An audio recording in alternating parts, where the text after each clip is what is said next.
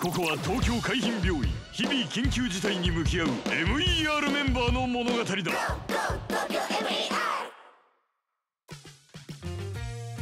よしじゃあこれで ER カー内の確認は OK ですね。そうですね。はい。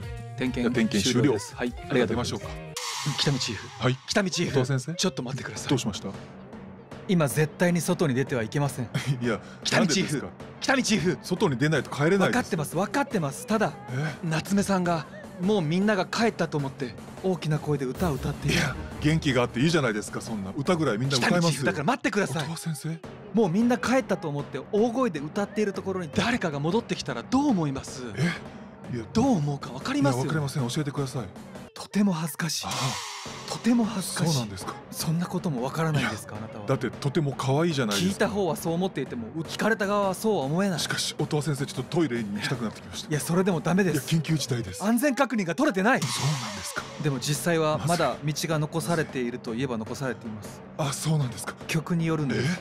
曲？歌っている曲があ聞かれてもいい曲の場合もあります。なるほど。恥ずかしくない曲というのがあるんですね。そうですね。聞いてみましょう。はい。聞きましょう聞きましょう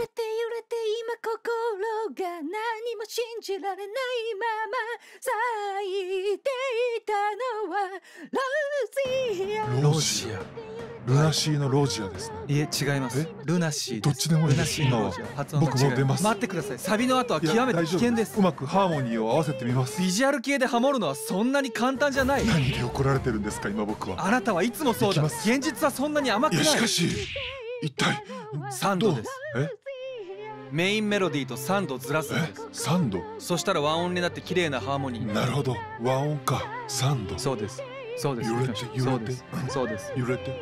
揺れて？ゆうんわかりました。揺れて？わかりました。あ。あ。止まった